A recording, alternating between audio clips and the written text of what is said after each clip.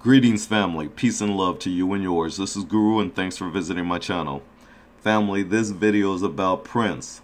Apparently, Prince left behind nearly a million dollars in gold bars. This video, or the information contained within, is provided by Jenna Amatulli from Trends Editor at the Huffington Post. With that said, let's go to the video. Well, family, people usually associate purple with the late Prince, but it seems that gold might have been more accurate.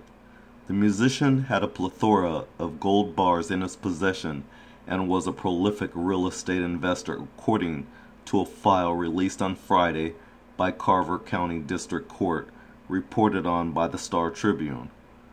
When Prince died last year, he was the owner of an estimated 25.4 million dollars worth of real estate and other personal property and 67 10 ounce bars gold bars according to estate documents. Yes solid gold bars.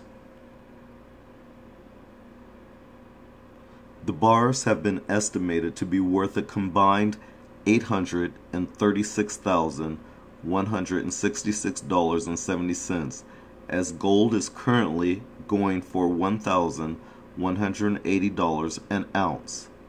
And that's just a small part of what the legendary When Doves Cry singer left behind. The Bremer Trust, the special administrator going through Prince's estate, still hasn't determined the full value of Prince's assets.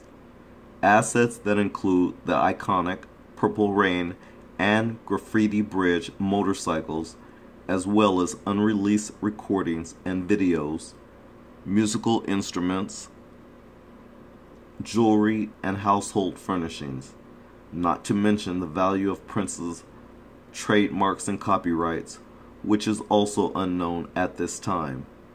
Prince died on April 21, 2016, at the age of 57 after an accidental overdose and left behind no will.